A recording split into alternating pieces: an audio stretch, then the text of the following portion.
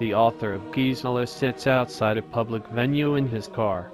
He is scheduled to recite from the book, but he is unsure if he wants to go through with it.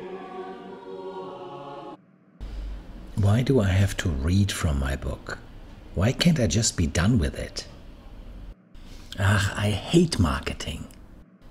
I do not believe this is what I am supposed to do with my life. If anyone wants to read the book, why don't they just buy it? I have invested years in Gisela. It was good to do it, but I wonder. I wonder what she would think of it. Would she love it? Hate it? Ignore it? God bless, Marcus.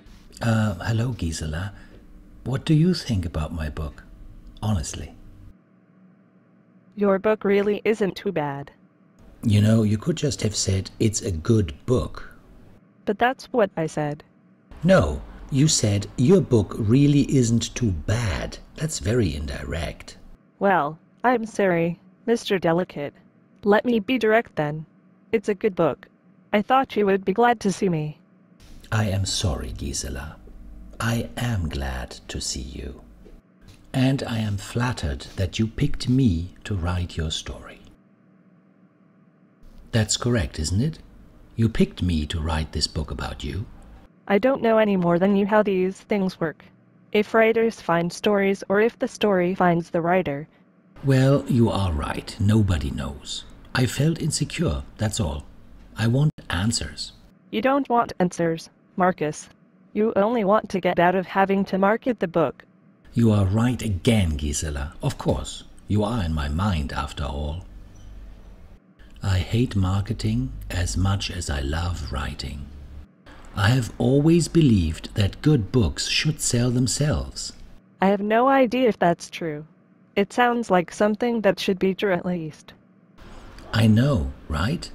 I will give you a word of advice, Marcus, if you wish. Please do. Pray. Pray? Yes, pray. Knew she would say that. It's totally in line with her character. She is right, too. It's not in my hands. This is calming. Didn't Kierkegaard write something to this effect? The function of prayer is not to influence God, but rather to change the nature of the one who prays. That was it. It's good to have wise friends in high places. Marcus never showed up for his recital. There are rumors that he is already working on the next book.